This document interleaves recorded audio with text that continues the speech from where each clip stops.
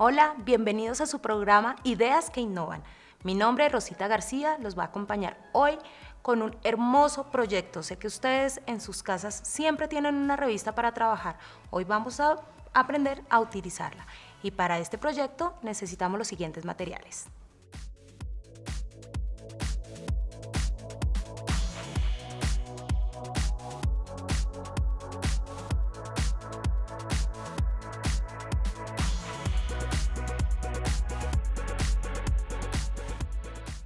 El día de hoy vamos a aprender a trabajar precisamente todas las revistas. La mayoría de revistas nosotros las tenemos y a veces no las sabemos trabajar.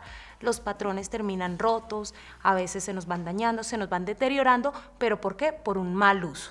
Y hoy vamos a trabajar la forma correcta de cómo trabajar estos patrones que vienen en todas nuestras revistas. Para esto vamos a nosotros primero, vamos a mirar nuestra revista. En la revista nosotros vamos a buscar siempre en, todos los proyectos, en los pies de ellos, nos van diciendo en qué ubicación o en qué plancha lo vamos a nosotros a, encontrar. Entonces, un ejemplo, vamos a trabajar el muñeco, el nuestro Capitán América que tenemos aquí en la mesa y vamos a buscarlo cómo, cómo lo vamos a empezar a trabajar. Entonces nos dice que está en la plancha B. Lo primero que nosotros tenemos que ubicar son nuestros patrones y vamos a buscar cuál es nuestra plancha. Nosotros en, los, en las partes superiores siempre vamos a buscar el número de nuestra revista, el nombre y la parte del el molde. Entonces buscamos molde plancha B. En este caso, nosotros abrimos totalmente nuestro pliego y vamos a distinguir cuál es el proyecto que nosotros vamos a, a sacar. ¿Por qué es tan importante que nosotros no rayemos nuestros moldes? Porque nosotros podemos guardar la revista, pero más adelante los moldes se nos pueden dañar. Siempre los moldes los vamos a marcar en una carpeta, los vamos a anexar en un sobre manila marcado con el número de la revista para nosotros poderlos guardar y que no se nos vayan a deteriorar y vamos siempre a utilizar los moldes que vamos a aprender a realizar en este proyecto. Vamos a tomar en este caso vamos a hacer, nos vamos a apoyar con hojas de papel pergamino o papel mantequilla como ustedes las tengan en su casa. Vamos a trabajarlo con lápiz. ¿Cómo vamos a hacer? Nosotros vamos a buscar que en el molde esté marcado también el nombre del proyecto que nosotros vamos a trabajar, en este caso Capitán América. Nos vamos a ir mirando nuestro proyecto. Entonces, vamos a empezar a trazar todos nuestros moldes. Esto con el fin que ustedes, este va a ser el molde, el patrón que ustedes van a tener para guardarlo y el que van a trabajar.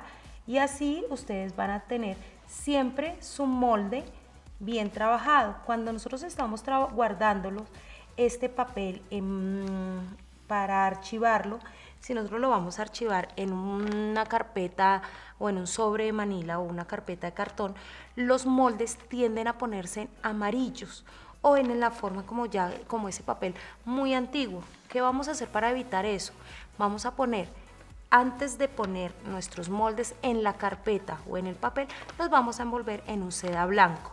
Esto lo que nos va a ayudar es que este papel no se deteriore tan rápido y así sea mucho más fácil nosotros poderlo guardar. En caso de que se nos perdió este molde, lo tenemos archivado por X, por Y, lo, se nos deterioró, se nos dañó y tenemos que volver a recurrir a nuestro patrón, entonces siempre nuestro papel va a estar intacto para volverlo a trabajar. Otra de las cosas siempre son las proporciones. ¿Cómo sabemos que nuestras revistas traen los moldes adecuados para trabajar nuestros proyectos? ¿Qué es lo que voy a hacer? Siempre trabajo yo un molde y por un lado, como esto lo, es, es transparente, podemos medir que el molde sea exacto a lo que nosotros tenemos en nuestra figura. Entonces, siempre vamos a ir mirando que el molde sea y coincida con el tamaño de nuestros muñecos. Ahora, nosotros queremos eh, sacar un muñeco más grande. Entonces, voy a tomar nuevamente todos mis moldes. Si yo voy a hacer eh, este muñeco, vamos a aumentarlo 10 centímetros. Entonces, ¿cómo sabemos qué tanto debemos aumentar un molde de la revista si nuestro molde es para un muñeco, digamos, yo lo quiero de que mida 45 centímetros y nuestro muñeco mide apenas 30. Entonces, siempre los moldes los vamos a sacar proporcionales. En este caso, nosotros vamos a hacer una, una suma simple, una regla simple, que es, si nuestro muñeco, eh, si este molde mide 10 eh, centímetros, digamos que de acá a acá mide 5 centímetros, vamos a poner una medida de acá a acá de 5 centímetros. Para un muñeco de 30 centímetros. Si mi muñeco lo quiero que mida 45, entonces tengo que mirar cuánto voy a aumentar esto. Hacemos regla de 3 3 simple. 5 por 45 y lo divido en 30. Este resultado es el tamaño que me debe quedar este tamaño de molde. Entonces siempre recordamos, la medida de nuestro molde lo multiplicamos por el tamaño que nosotros queremos eh, ampliar o disminuir nuestro muñeco y lo dividimos por el tamaño real del muñeco que tenemos en este momento. También tenemos que ser claros en la parte de las proporciones de nuestros muñecos. Si nosotros tenemos unas, mm, unas paticas, en este caso vamos a trabajar una pata número, eh, unas bolitas número 5 y número 4 para este cuerpo. Pero si yo lo quiero más grande, nosotros tenemos que aumentar los pies. ¿Y cómo sabemos qué bolas tenemos que seguir? Entonces, cada 10 centímetros aumentamos un número de bola. Entonces, si nuestro muñeco mide 10 centímetros más, que más o menos nos va a quedar de este tamaño, entonces no le vamos a poder poner una bola número 8 porque nos va a quedar muy grande. Entonces, en este caso 5 y 4, para el siguiente tamaño vamos a trabajar una bola número 6 y una bola número 5 en la parte de atrás. Lo mismo nuestras bolas de la cabeza, en este caso es una bola número 8, pero si nosotros vamos a aumentar 10 centímetros, también tenemos que aumentarle la mm, nuestra cabeza. Y para ese caso podemos trabajar una bola número 10 o incluso podemos trabajar, eh, hay unas bolas intermedias que ya las conseguimos en el mercado, entonces vamos a trabajar, se le llama eh, una bola 8.5 o una bola número 9 en el mercado. Entonces tenemos que buscar una intermedia entre medidas para que no nos vaya a quedar ni muy cabezón y tampoco nos vaya a quedar muy pequeña la cabeza que se note la diferencia en la, en la amplitud o cuando disminuimos los materiales, los moldes. Seguimos con la explicación del molde. Cuando nosotros calcamos nuestros moldes, un ejemplo en esta parte que tenemos eh, blanco y rojo, siempre vamos a buscar marcar todo con líneas y todo. ¿Por qué con líneas y todo? porque yo voy a tomar este molde que nosotros tenemos de acá y no vamos a cortar piecita por piecita, sino vamos a sacar un molde, lo vamos a sacar en color blanco y otro molde lo vamos a sacar en color rojo. Cuando nosotros trabajamos, vamos a dejar un ejemplo, el blanco de fondo y voy a trabajar el rojo de base, entonces el rojo sobrepuesto, entonces cuando yo marco todas estas líneas sobre mi molde, simplemente voy a cortar las partes que van en otro tono, vamos a aquí para que se vea muchísimo mejor, vamos a tomarlos, estas las vamos a retirar en otro tono y las vamos a sobreponer sobre la guía que nosotros tenemos. Siempre es muy importante que nosotros cuando estamos trabajando toda la parte de moldería, vamos a buscar, nosotros en esto también podemos em, poner a volar nuestra imaginación. Mm, las revistas son guías.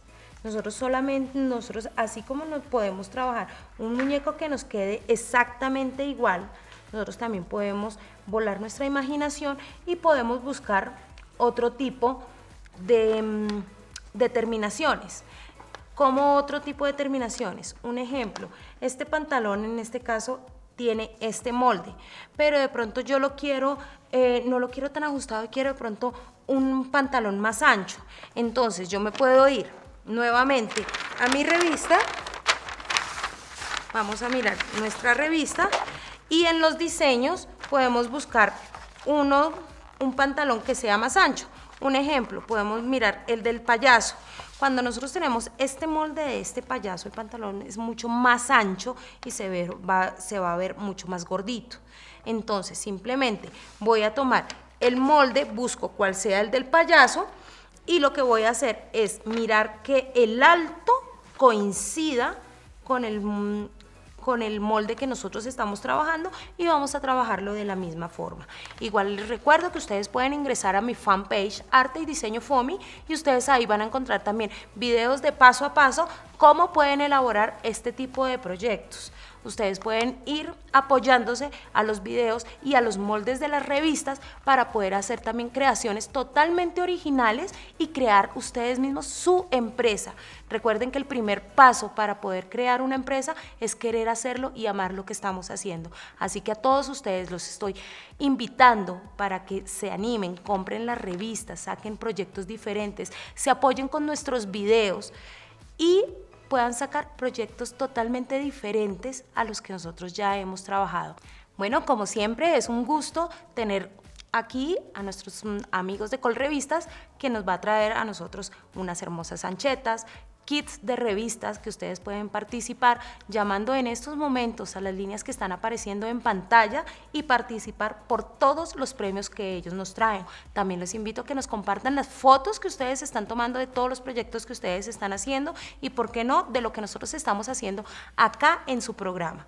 Así que manos a la obra, espero que este programa para ustedes haya sido muy útil y podernos ver en una próxima oportunidad. Muchísimas gracias por esta invitación y nos vemos muy pronto.